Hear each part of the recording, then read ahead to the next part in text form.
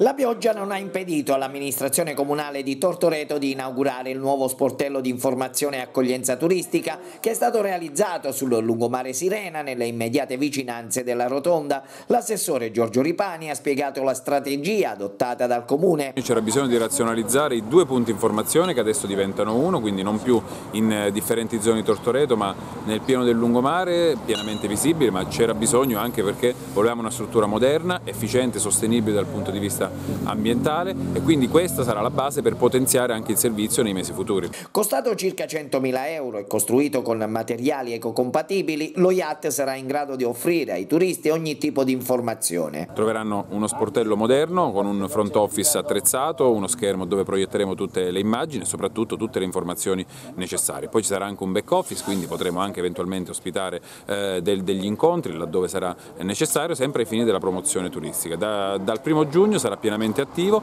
e offrirà ogni tipo di informazioni, comprese anche i contatti con le nostre strutture alberghiere e balneari.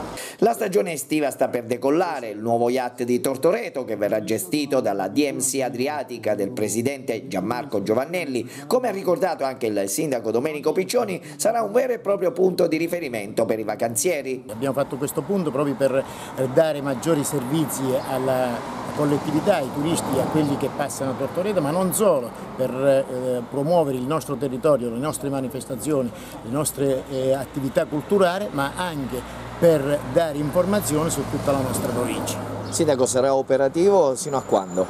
Eh, 12 eh, mesi l'anno, sarà aperto sempre, con partenza dal primo di, di giugno fino a, sarà strutturato 12 mesi l'anno.